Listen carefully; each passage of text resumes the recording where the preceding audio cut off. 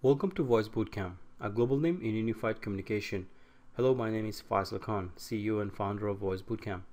In this particular lab, I'm going to show you how to create an instance for Cisco Unified Contact Center Enterprise 10.5. Instances are required in order for you to create a call center for a particular client.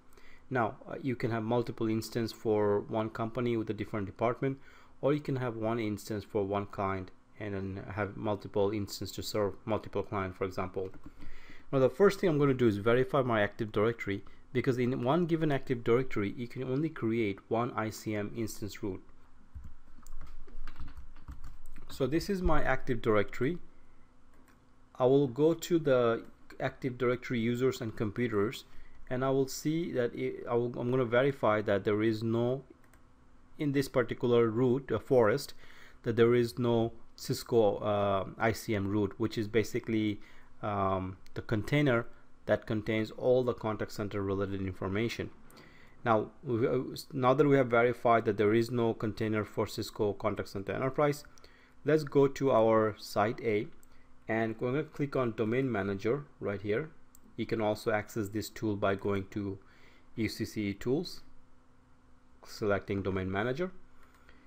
Now you notice how the the active directory or the domain name is automatically selected that is because this particular server is already member of that particular domain as you can see see domain pod1.com so because of this membership, the domain is automatically selected. Now if I try to expand it, there will be nothing available at this stage because we just verified that contact center does not have any sort of container for active uh, contact center enterprise.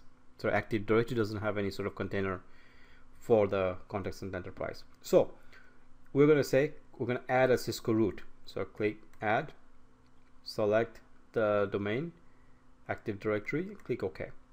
So what it does, it creates kind of a, a IC, a Cisco ICM.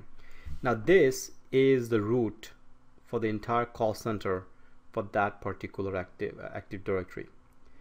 Now typically you can have multiple forests, different domain for an active directory, maybe you have more of four or five different individual active directory. So you can create multiple ICM, uh, Cisco ICM root or in a short form, uh, another form container. So let's go ahead and go back to the Active Directory. Let's try to refresh this. And as I try to re refresh this, you see how Cisco ICM container is created. Underneath that, two security group has been created. And those are security group for domain local. So what does it contain? Well,